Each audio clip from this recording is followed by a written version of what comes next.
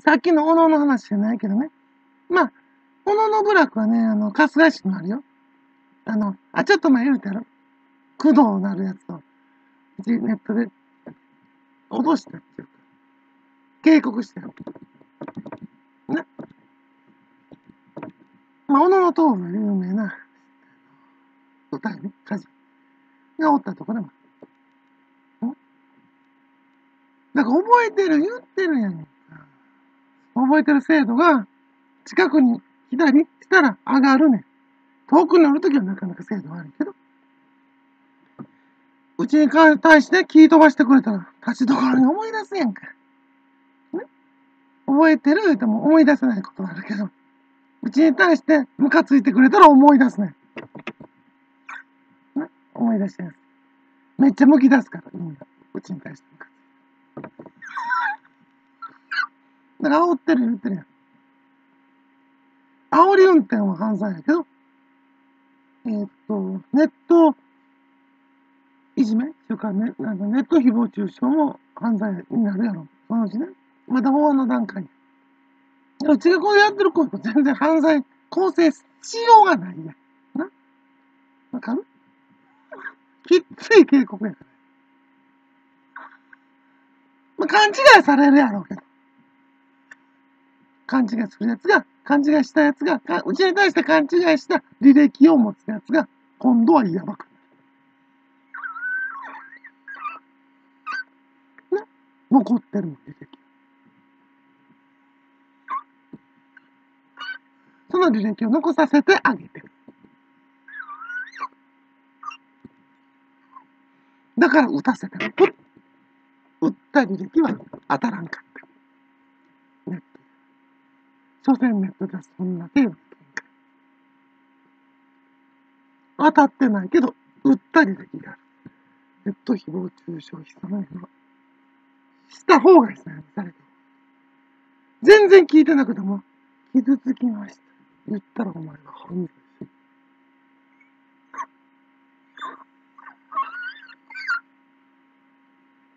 いや、そこまで言ってたら、おつ。じの場合は、過剰防衛やんけ。いや、その件に関してはね。でもこっちの件はちゃうねん。めっちゃ傷ついてる。お前のせいだ。そんなもんやん。刑法。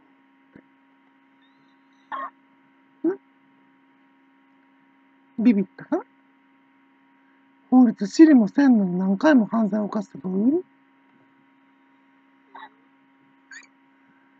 犯罪を犯すために法律に詳しいなれって進めてるわけじゃないぞ。法律詳しくなったら、それよりも大事なのは法哲学を学ばなきゃちゃうのいちいち法律に向き合いな探すより、法哲学学んだ方がもっとプライド回復するぞ。やん思わへんか？その法哲学嘘や。綺麗事や。って思ってんねやろ？違うね。法律の方が綺麗事やね法律の方が法哲学を舐めているんだよ！わからないか？こういった。論理学本当にわからないのか？目覚めたか？鱗落ちたか目か哲学を馬鹿にする者ども宗教も哲学を馬鹿にしているわけだぞ。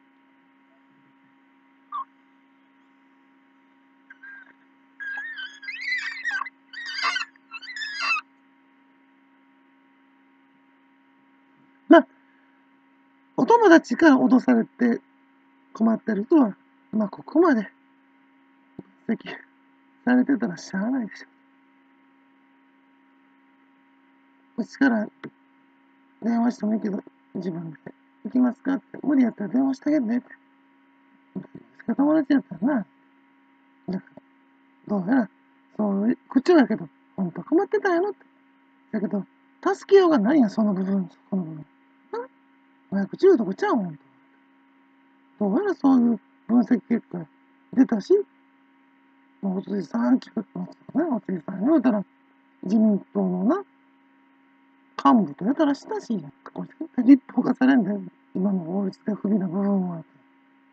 こんだけきっちり証拠、証拠かきっちり説明してたら、みんなわかるやん、その、なんで言ってた、言ってること。じゃあ、証拠探せって、それおついさんの仕事ちゃうやん。エビデンス探せって、それおついさんの仕事ちゃうやんか。おついさんの報告が本当かどうか。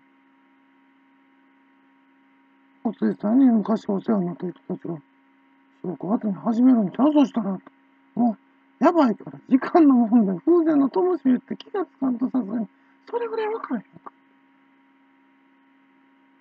みたいなこと言ってあげたらいいから。あれ、この動画見ろって言ってくださったらいいから。うちネゴシエーションの名人ですけど。